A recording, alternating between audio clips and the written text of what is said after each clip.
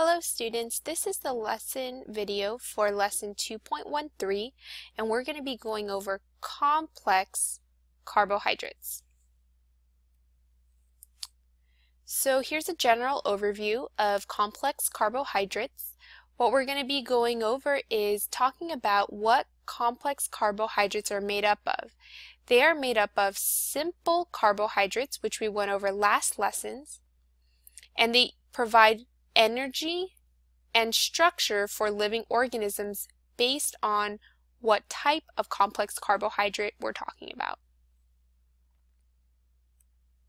So the goals for this lesson is to understand the roles of different complex carbohydrates in living organism, recognize the different types of complex carbohydrates, understand that complex carbohydrates are made up of many simple carbohydrates linked together, understand how complex carbohydrates can be used for energy, and then describe the role of carbohydrates, proteins, lipids, nucleic acids, and water in living things. So those are our goals for this lesson.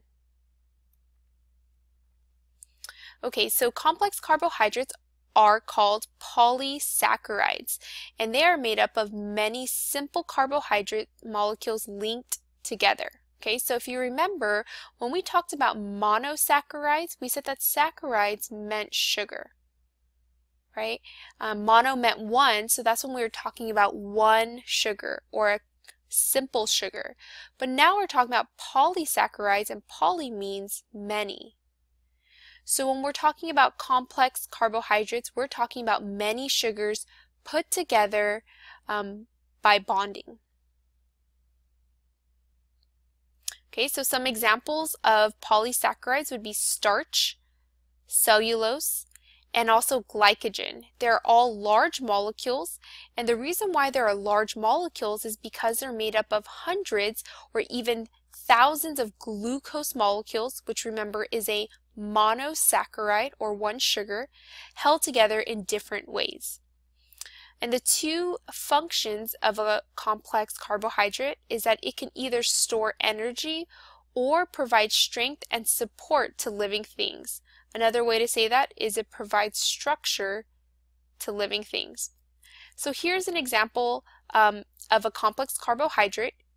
Behind um, this picture is um, some mashed potatoes right? And if you look at the chemical structure of mashed potatoes, you would see that it is made up of starch molecules.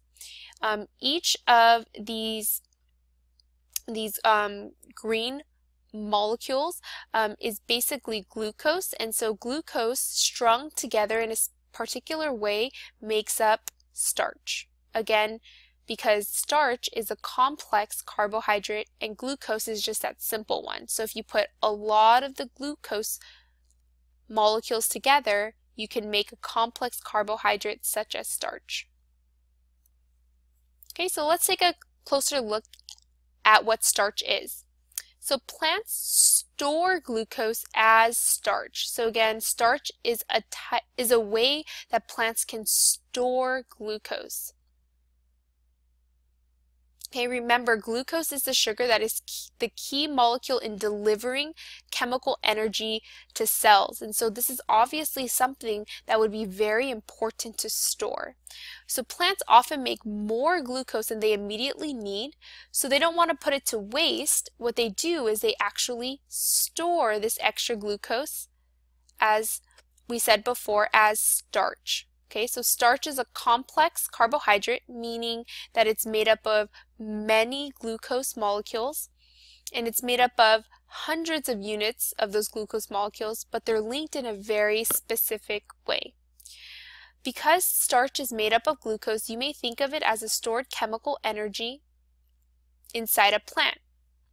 Plants store glucose as starch during times when energy is abundant, so that when energy isn't as abundant and is more limited, they can break down the starch, and when they break down the starch, they actually release glucose, because remember, starch is made up of many glucose molecules.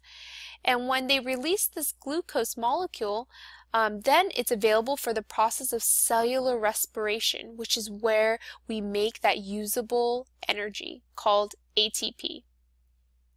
Okay, so you can see that this is an extremely important storage system. When you eat plant parts where starch is stored, such as oats, potatoes, or rice grains, um, you eat this starch and your body then can break it down into individual glucose molecules.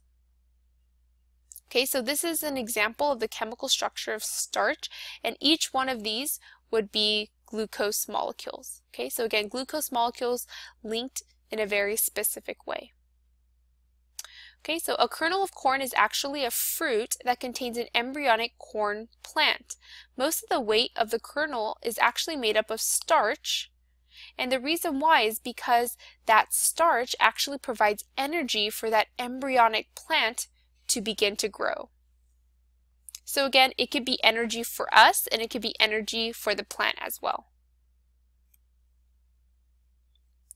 Okay, so if we look closely at how um, starch molecules are structured, you'll see that it has a type of branching. So different types of plants make different types of starch. For example, we have potato starch, and that's slightly different from the starch found in corn, or beets. Each type of starch consists of a different number of glucose molecules.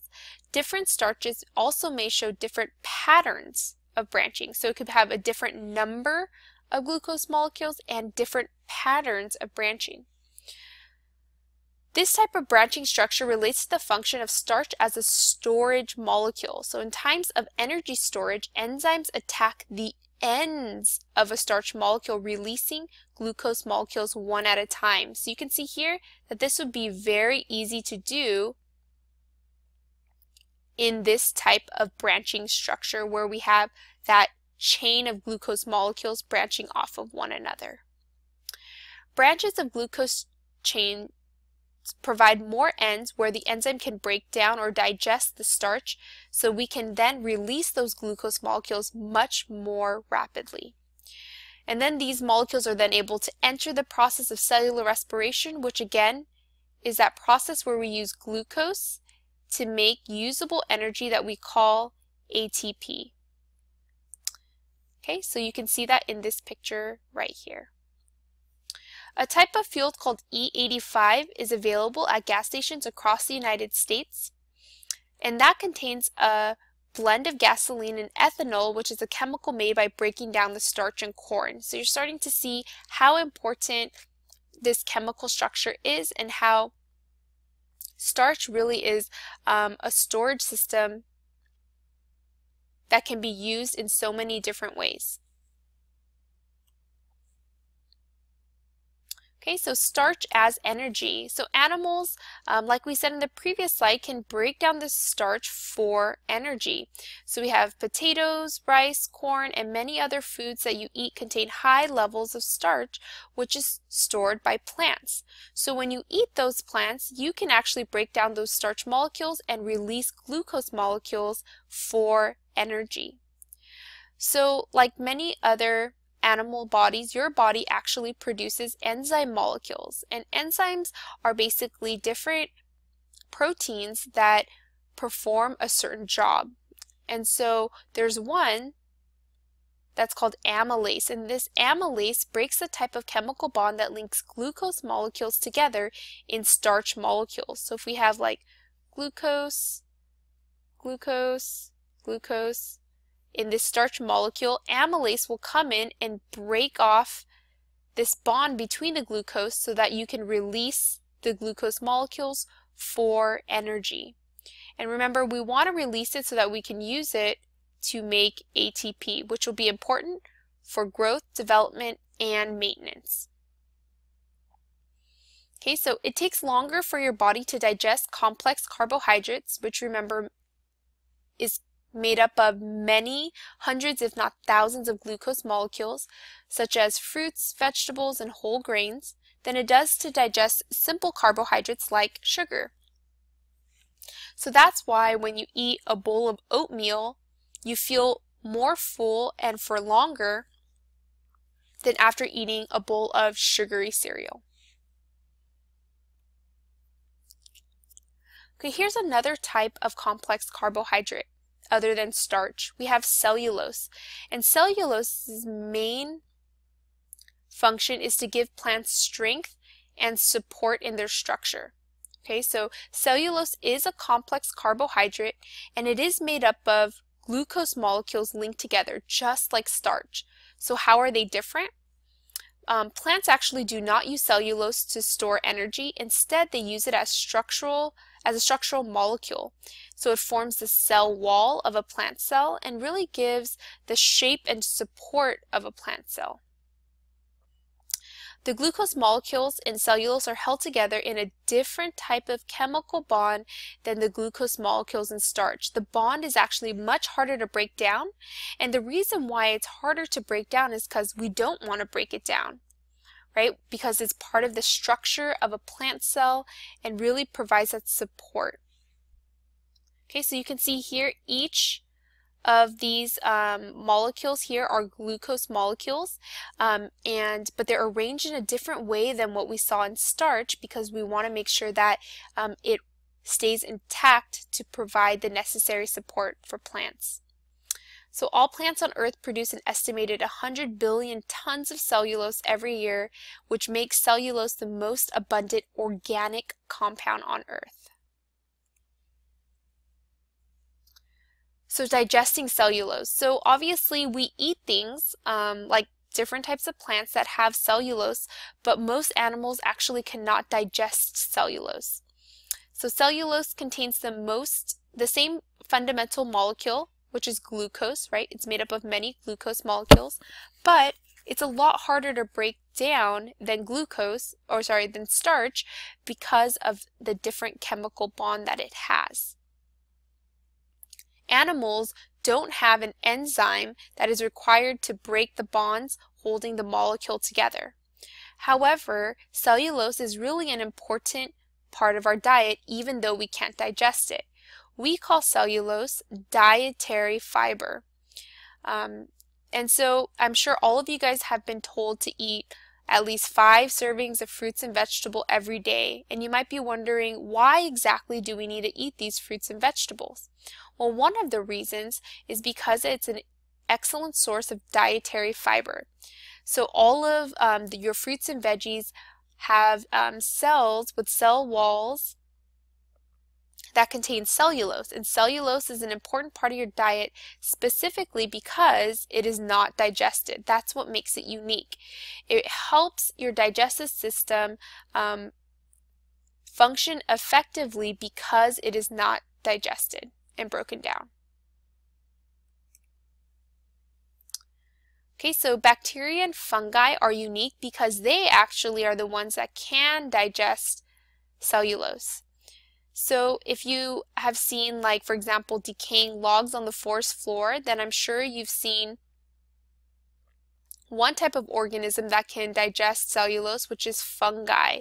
So here's a decaying log right here, and you see different types of fungi on the decaying log, um, log because this, these fungi produce enzymes that can break down cellulose.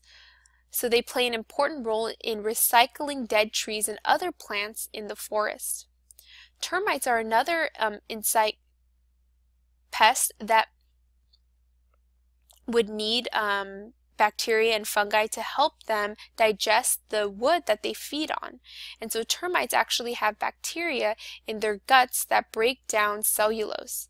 By themselves, termites cannot digest the cellulose in wood, they have bacteria in their stomachs that actually produce that enzyme that can digest cellulose, allowing them to um, break down the wood that they eat.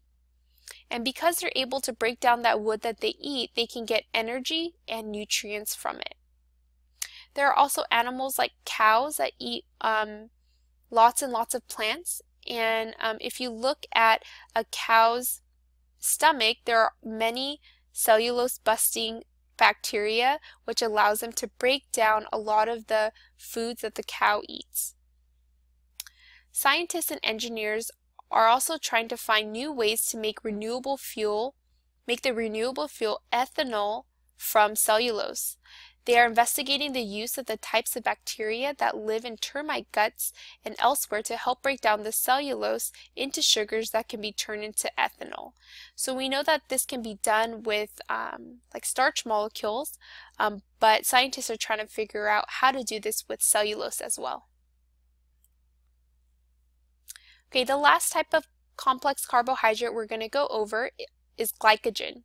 So animals store glucose in a complex carbohydrate called glycogen. Okay, so remember plants stored glucose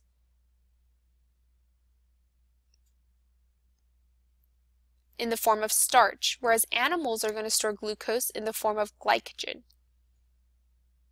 So like starch, glycogen is just made up of those many glucose molecules bonded together. Glycogen differs from starch in being that it's more highly branched than starch. Humans and other animals store glycogen mainly in muscle cells and liver cells. So like starch, glycogen is easily broken down, right, because we want it for energy. And we it's broken down into individual glucose molecules when energy is needed. Those glucose molecules can then be further broken down. And why would we want to break them down? It's so that they can be converted into usable forms, which again we'll call ATP. Okay, so if we look at the structure of these different complex carbohydrates, we look at starch. Remember that um, the starch has a more of a linear structure, but we do see branching like we see right here, and it's easy access to break down. We could break down at any of these um, chains. Glycogen, which again is the storage form of storage in animals for glucose, and um, we see is more highly branched than starch, right? So it's not just linear, but it actually goes more in a circular sh shape and if we were to look closely to even just one part of this, we would see that even in the parts that we can't see here, there's even more branching. So obviously because there's more branching, there are more opportunities to break it down as well.